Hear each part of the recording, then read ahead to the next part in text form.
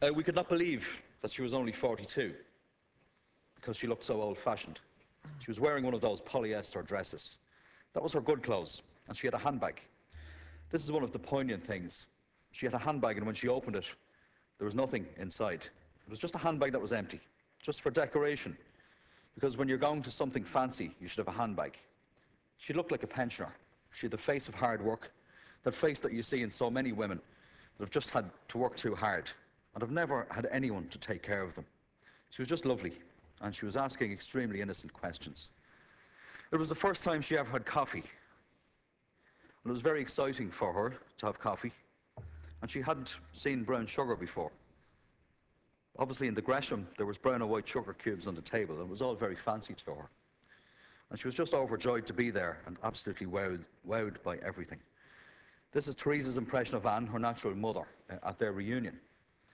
Incarceration in a Magdalene laundry deprived Anne of her daughter, Teresa of her mother, and the young Irish woman of her liberty, her freedom, and the endless possibilities of life uh, and love.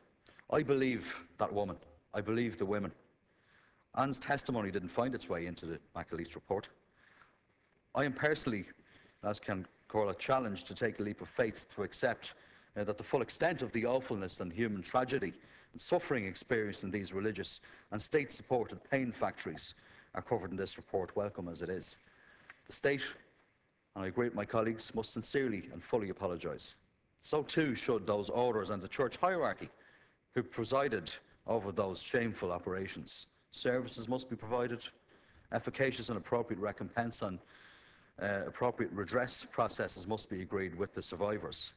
Uh, the women were sold out by the state and the church, which professed to love them and respect their God given dignity. They must not be show- sold short now. Uh, I know you know that, Minister. Uh, I know that this government knows this. Uh, and I would urge uh, those in positions of responsibility to take very swift action to address this issue and to close this sorry, sad, and heartbreaking chapter of recent Irish history.